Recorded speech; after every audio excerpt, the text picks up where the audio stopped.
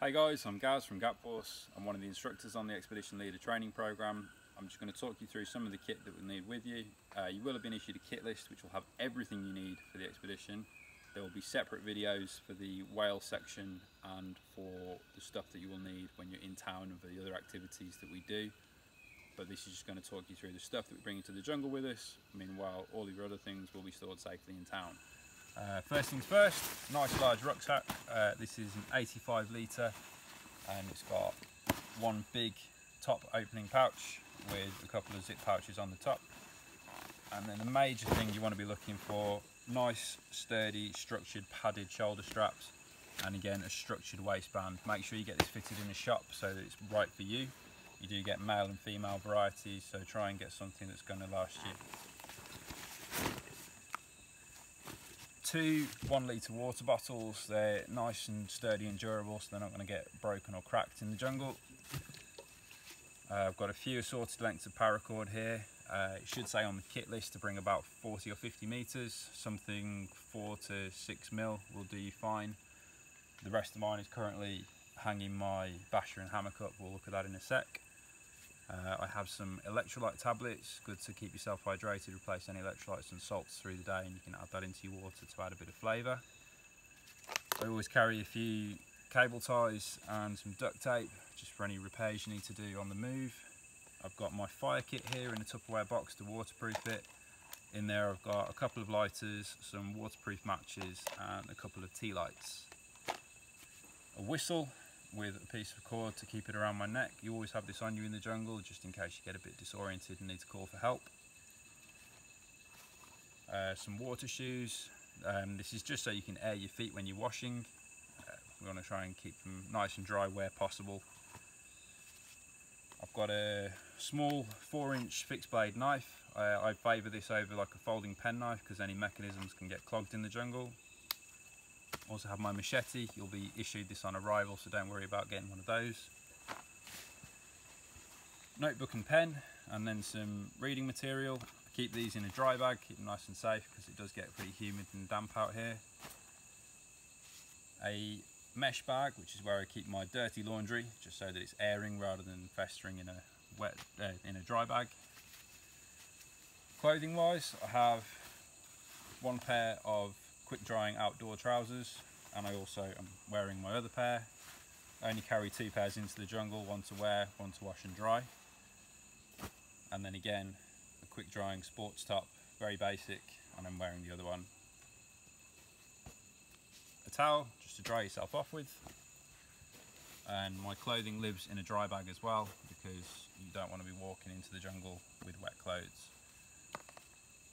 Waterproof sewing kit, Again, very basic. I've just got needles, thread, and a couple of spare buttons in there. Wash kit, I have toothbrush, toothpaste, some multivitamins, biodegradable shampoo so that when you're washing in the jungle rivers you're not polluting, mosquito repellent, and then my foot care kit I have antifungal talc to make sure that I'm not getting any infections on my feet and then I also have moisturizer so that I'm not drying my feet too much with the talc. I've got my head torch and then a Tupperware box to keep it waterproofed. In there I also have spare batteries, another spare head torch and my compass. A waterproof power bank, uh, just so you can keep all your electronics that you want to bring in with you nicely charged. And another Tupperware box for keeping that waterproofed along with the charger cables. Waterproof camera, so waterproof. Um, not too precious because it can suffer from the humidity but again if you've got a waterproof one like a GoPro or something then you should be okay. An extra dry bag, this is what my sleep system lives in. Uh, we'll go through that in a sec but again that's pretty precious, you don't want to be sleeping in a wet hammock. Coffee mug and then spoon and mess tin. Um, also use a frying pan or something similar depending on what you want to use, but something that's going to be able to cook on a fire because you will be cooking individual meals like this. Moving on to the med kit. This is just my small personal med kit. You will have a list of this on the kit list of the things you'll need in there. So I've got a dry bag that it lives in.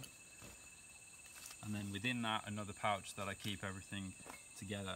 So I've got some tiger balm, it's good for any little niggles and mosquito bites, some zinc oxide tape and a bandage.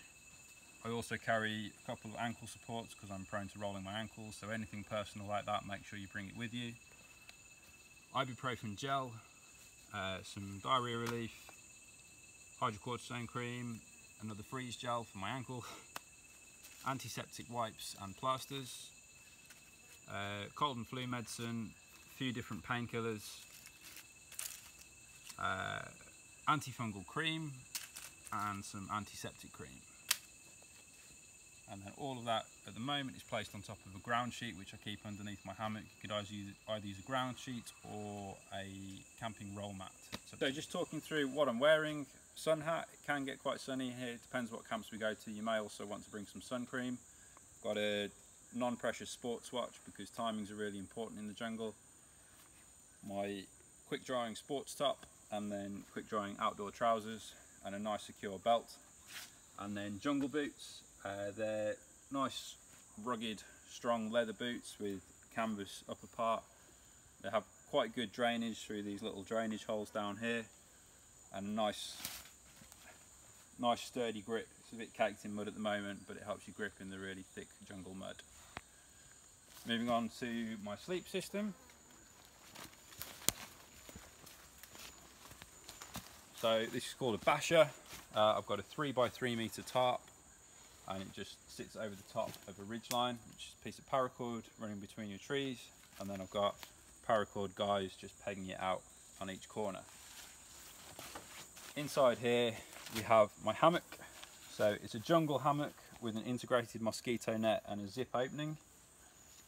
That's held up by tree huggers, but you can use paracord or it might already be integrated into your hammock. Just make sure it's strong enough to hold the weight of the hammock without stretching.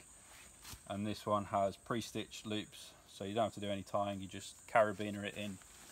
And then the carabiner acts as a little break in the line, so if it's raining, the water will drip off rather than soaking the end of your hammock. Inside the hammock,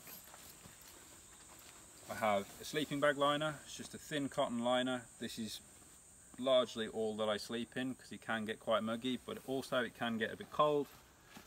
So then I have a one season sleeping bag, it's quite thin, really nice weight, nice and lightweight and packs up really small. And then to sleep in, I just wear a pair of shorts, but again, it's personal preference. Some people will wear um, like thermal layers or trousers, t-shirt, really depends on what you want to sleep in, so play around with that.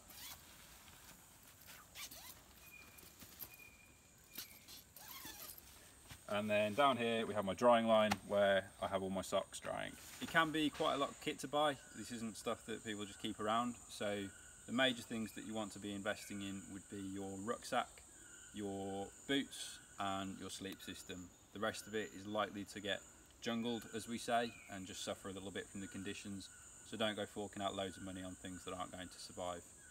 If you have any other questions, you'll have the contact details of your instructor, so get in touch and look forward to seeing you in the jungle.